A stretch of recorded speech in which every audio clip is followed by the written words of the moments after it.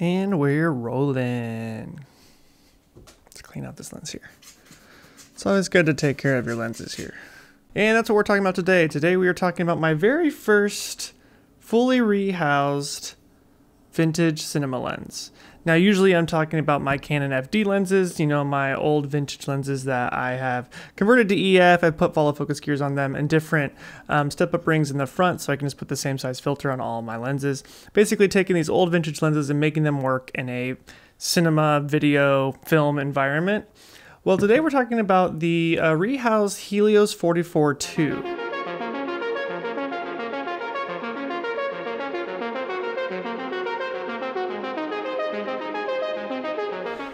Kind of a confusing name. A Helios is an old Russian vintage lens. It's a very common lens. Um, and a lot of people like to use this lens because it has a really it has like this really fun swirly bokeh, which really gives us a like nice vintage look and is just very different and unique compared to other lenses. It's a pretty common lens. I think they're like $50 on eBay. A lot of people like to use this lens for cinema.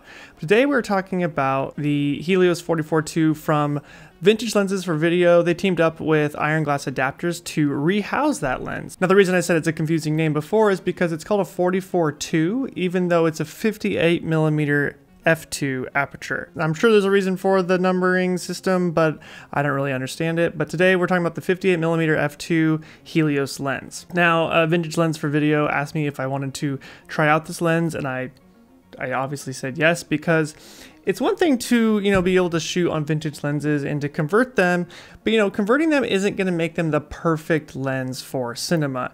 You're not going to have all the nice features that you would have from an actual cinema lens, um, you know, with a really nice long focus throw like this one, the proper gearing on it, and also the oversized lens. You know, it seems silly. The actual Helios 44 is really just a small lens. It's I think it's probably even smaller than this little 35, around the same size as this 35 millimeter here. Um, but the reason that you build out a lens like this and make it this large is for a couple reasons. Um, obviously, it really helps make that focus throw longer. And so you have a much longer focus throw when you're pulling focus, which means you can be more accurate with your focus and you can't miss focus as much when using a proper follow focus or an electronic wireless follow focus. And it has the standard uh, gears on there and everything's made out of metal. So it's a really nice construction. The other reason these lenses are so big is because, you know, you want to have a standard size lens to work with standard cinema matte boxes and filters. So even though the actual lens element itself is very tiny in here, this outer edge here is a 95 millimeter outer diameter, which is one of the standard common sizes for matte boxes. And what's great about this too is that with with the size like this, if you bought another cinema lens, it would also be larger. And this kind of standardizes all the lenses. And so when you go to mount a follow focus on them, it's going to be um, a quicker and easier thing to do. So right now I'm using the Nucleus Nano um, with my kit, um, and it's a little bit harder to mount Nucleus Nano on a lens this small because the Nano is only you know this long. So it kind of struggles to reach lenses but when the, the bigger the lens is the easier it is for the follow focus to reach it and probably the more leverage you'll be able to have um, with the follow focus as well. So that I'm sure there's other reasons from an engineering standpoint that these lenses have to be bigger, um, but it's something that I actually like. Uh, obviously, I also like a smaller lens um, just for the lightweight and ease of use, but I'm excited to have both of these style of lenses in my kit. Now, I've talked a lot on the channel before about my Canon FD 55mm, and I really, really like that lens. That's an f1.2 lens, so it didn't necessarily make sense to get another lens in this kind of same focal range. But I did do something a little bit differently with this one. So first off, this is going to have a little bit of a different bokeh characteristic. Um, and then also what I did is I asked uh, Ironglass Adapters if they could put in the anamorphic bokeh mod on this lens. So what they do basically is at the very back of the lens behind the aperture, they actually put in an oval shaped uh, bokeh modifier. And so that's going to make your bokeh, you know, the circular bits in the image when they're out of focus, rather than looking like circles, they are going to look uh, more oval like anamorphic bokeh. And this just adds a little bit of a unique characteristic to the bokeh, something that kind of you know, switches things up and makes it different than my other lenses, and I thought that'd be really fun to do. And speaking of aperture and bokeh, this lens actually has quite a few uh, iris blades in it, so the bokeh is already really nice and circular to begin with throughout the entire um, aperture range. That's something that's really nice just buying this lens to begin with. But then if you add that bokeh mod in there, you just have a big range of really nice clean bokeh. To, and it doesn't really matter what aperture you are at. So I did have them send me this lens in the PL mount. Now the standard mount that I'm usually using is my Canon EF mount, and I'm using the Blackmagic Pocket 6K right now with an EF mount. So what's really cool about this is that when Ironglass Adapters, since they're making their own lens and they're re-engineering the outside and the mount, they're able to make um, adapters for them. So it's pretty hard to find an EF to PL adapter for most cameras because the flange distance is kind of strange on an EF mount camera because it's on a mirrorless camera. Originally, it was designed to have a mirror in it. So it's kind of a, the lens sits pretty far from the sensor which makes it complicated to put the PL mount on there usually. Um, and it, you know, it causes troubles with like this lens, for instance, it's a small lens and they, they engineered it themselves, this back mount here. So uh, it'll fit fine inside my Pocket 6K, but if I tried to put on like a, a bigger cinema lens, the back element may be too long or too wide to fit inside the camera, so it does not work. But because they designed their own, they're actually able to design their own PL to EF adapter as well, which is really handy. So I can simply just put that on here, lock it up, and now this PL mount cinema lens can now work on an EF camera. So it's pretty nice for me. So now I can use it on basically any camera I want to. Um, if I want to put it on like an ARRI Amira, for instance, I, which I shoot on a lot for my commercial projects, I can just pop this right on to the PL mount on that, the more professional mount. Um, but if I want to use it on my Pocket 6K, now I have an EF mount to pop it on there too. This is sold separately on their website. It's like $200, I believe totally worth it for me because now I can just use it on any camera I want to, but still have that PL mount when I want to use it on a cinema camera. That PL mount is going to make it lock on there really well, really nice, and swap out very easily with other cinema lenses. So the construction of this lens is super nice. Uh, the, the black coating on it is really nice. They also have a kind of stormtrooper look, a kind of whitish silver color that you can get it, get it in as well. And I believe when you order these, they um, they hand build every single one because they are rehousing old vintage lenses and they have to get their own stock in for those lenses and then rebuild them and they do it all from hand. So it does take a little bit to get this lens when you order it, but I feel like it's a really fun lens and really unique thing to have in your kit.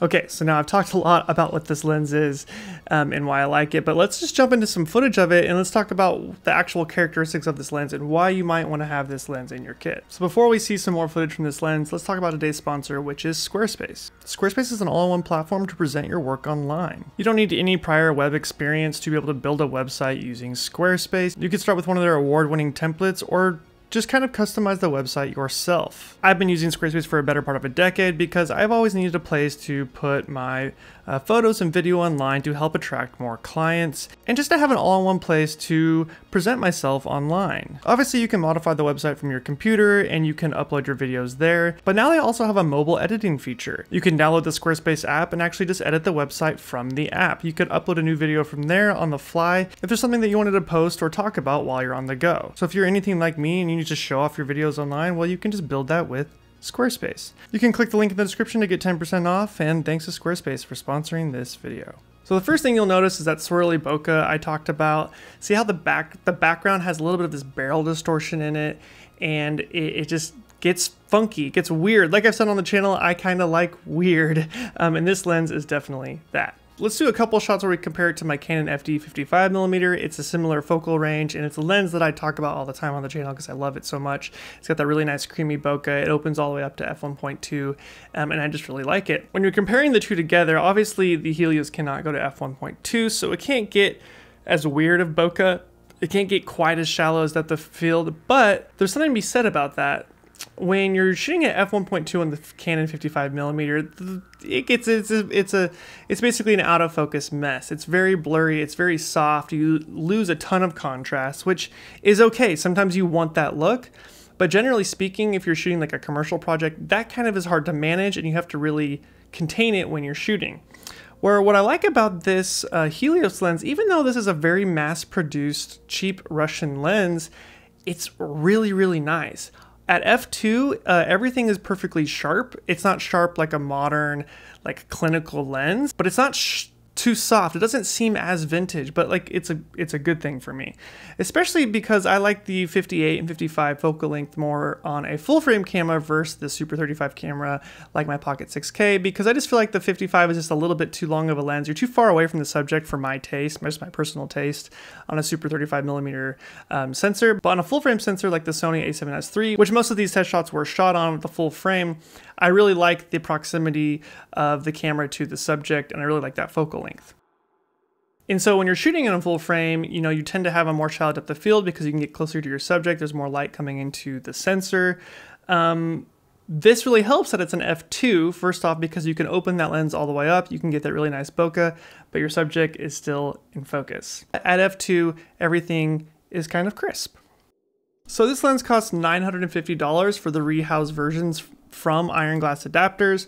Um, and that's just to get the base kit. Now you can add the different bokeh mods and the different, you can obviously get the PL adapter to go with it. So $950, I do believe that there are some sales going on sometimes and they'll be $850, which is a little bit cheaper. They also let you add more iris blades if you want to. You can get 16 blades in it, which makes the bokeh look even more circular um, when stopping down that lens. So it may seem a little steep spending $950 on a rehouse lens like this, but when you start to use cinema lenses, you start to really fall in love with the ease of use of a proper cinema housing. So I've been using these old Canon FD vintage lenses for a long time now, but there's definitely some downsides of using a vintage lens. Like I've said before, having fungus or dust in the lens, which can be okay when you're shooting, but um, in other instances you may not want that kind of look. Um, and that's where I think that, you know, getting a lens rehoused from them, they're already going to have the lens cleaned for you. They're already going to have gears built into it. You're going to have that proper uh, outer diameter on it and a proper PL mount on it. So for $950, that's actually very inexpensive for a cinema lens. Now there are more, there are some cinema lenses that are cheaper on the market that are newer, but you're gonna find that you're gonna like the optics out of this way better. Now they do offer more rehouse Soviet lenses on their website. Um, you know, there's a lot of these Russian lenses that were made back in the day, and they kind of had similar coatings and kind of a similar characteristics, and so they can build you a set as well if you wanted to have a full set of cinema lenses. So they did not sponsor this video or pay me to say anything about this uh, lens, and they're not going to watch this video before it goes up. I just wanted to uh, test it out and review it for myself and tell you what I thought about it, and I'm just I just have to say I'm really excited to have it in my kit. Um, I just I just love a good cinema housing. Just just just look at that. Oh, just buttery smooth focus ring and the aperture ring fully manual. Um, the markings on it are really nice. I really like this black look. The white look would be really cool too if you had, you know, maybe like a white red Komodo or something like that, the Stormtrooper look. But for me, I just don't like too much, you know, uh, interference with like reflections or anything like anything like that. That's why I just basically keep everything black in my kit. Um, but you know, it's fun to have different colors as well you know, it's just one thing to be using an old vintage lens, but to be able to have a vintage lens and those characteristics, but have it in a brand new body, perfectly clean, that's just something that's really awesome. And I'm just really glad that Ironglass Adapters offers this kind of service. You know, I've looked into rehousing my Canon FD lenses too, but it, I think it runs upward of $4,000 to rehouse one of these lenses. And then that just seems like we're getting a little bit uh, too expensive, but it's something that I might do in the future.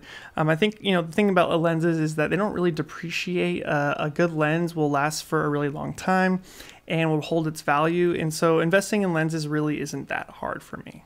Oh, I forgot to mention, it is a 95 millimeter outer diameter, but the inside thread here is 92 millimeters. So if you do want to put a filter in this and not use a matte box, you can put a 92 millimeter filter in here.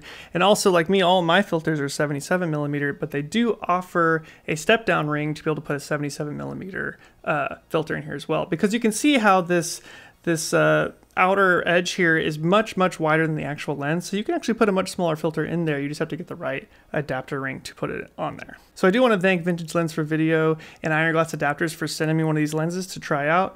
Um, it's uh, really nice and I'm really happy that I have it in my kit. If you have any more questions on it or if you want to see more footage from it, uh, let me know, comment below. Maybe I can add some more of that footage to a later video. Until next time guys, I'm Spenser Sakurai. See ya.